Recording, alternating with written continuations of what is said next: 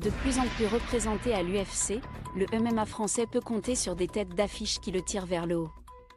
A commencer par Manon Fiorot, dont le coach a révélé au micro de RMC Sport les grandes ambitions, qui devraient intéresser Benoît Saint-Denis. Avec cette victoire en 8 combats, le contingent tricolore a offert au public de l'accord Arena une soirée proche de la perfection.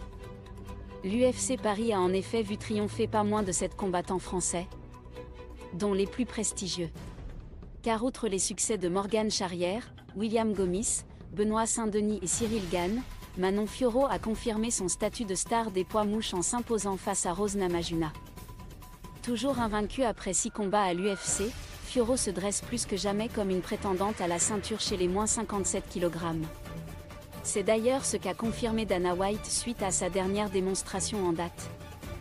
Mais lorsqu'Alexa Grasso tentera ce samedi de défendre son titre face à Valentina Shevchenko, l'entraîneur de la française, Aldric Cassata, s'est montré optimiste auprès de RMC Sport. Je pense qu'on peut vraiment se dire qu'on peut aller chercher la ceinture dès le prochain combat. Si vous me demandez aujourd'hui de donner un pourcentage, je pense qu'elle aura ce title fight à 90%. Je ne peux pas en dire plus, mais ce n'est pas du bluff ni de la spéculation. Je suis intimement persuadé qu'à 90%, on aura ce title fight pour le prochain combat de Manon. Malgré la concurrence d'Erin Blanchfield et la menace d'une trilogie entre Grasso et Shevchenko, Kassata ne perd pas espoir. Bien au contraire.